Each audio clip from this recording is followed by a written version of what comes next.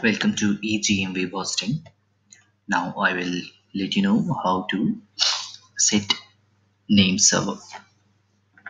What you need to do now, you'll log in first. Give your username, nothing but your email ID as well as password.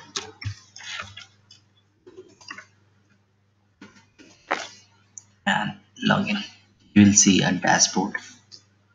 Here is the dashboard. You go to domains. Again, my domains. Hmm. here you will see find a active button.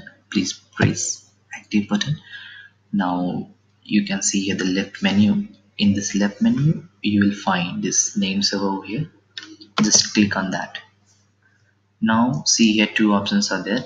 In case you have purchased from AGM your hosting is or server is from AGM you have to select this option. Do not do anything now and just change server name name server.